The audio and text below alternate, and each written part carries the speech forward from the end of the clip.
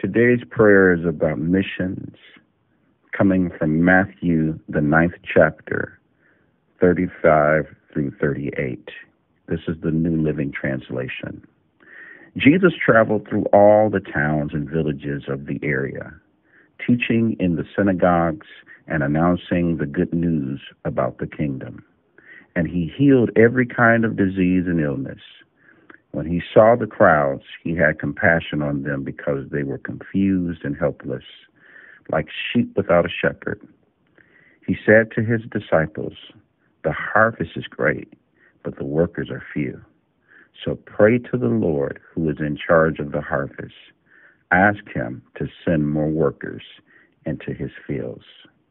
Father God, right now I thank you just for life. I thank you for this amazing brotherhood. I thank you for the sisterhood as well, Father God. I thank you for all of your children, my brothers and sisters.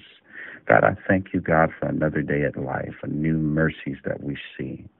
Father God, as we read the scripture, God, I thank you, Father God, for just giving us the heart and a mind to not only worship you, but to serve you and to serve your people.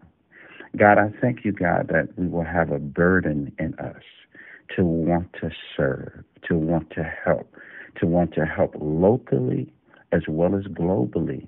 Father God, I thank you, God, that you've given us uh, resources, Father. You are our source. We look to you for our source, and you've given us resources, Father God. God, I thank you, God, for the work of our hands, that the work of our hands will be used to help others, Father God, through missions, through outreach. I thank you, Father God, for us having a heart, Father God, to look into different organizations that we can partner with, Father God, to be able to help others, Father God, to help them in their needs. Father, you've supplied all the things we need for our needs, Father God. And we thank you, God, that our mind and our hearts have been changed, they have been transformed in order to do the work that you have called us to do. Father God, I thank you for now, Father God, that we will have a heart and a mind to want to not only after worshiping you, Father, but be called to action, called to being able to serve, Father God, to serve those that are in hungry, the people that need uh, medical treatment, the people, Father God, that, that, that don't have a home, Father God, that we will be able to give them and share resources like the early church did in the book of Acts, that we will share that no one would have a need.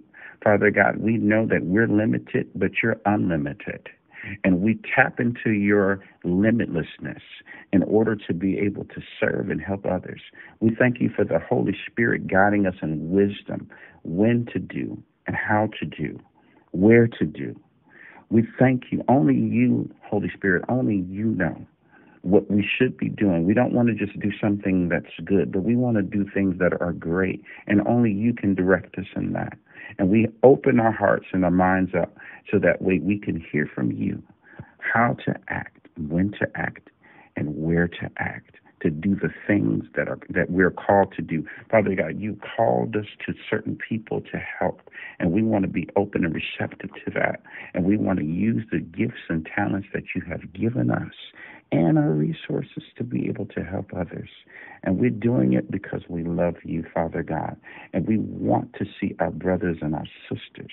We want to see them healthy. You said that the, the scripture says, I would that you would prosper and be in health, even as your soul prosper.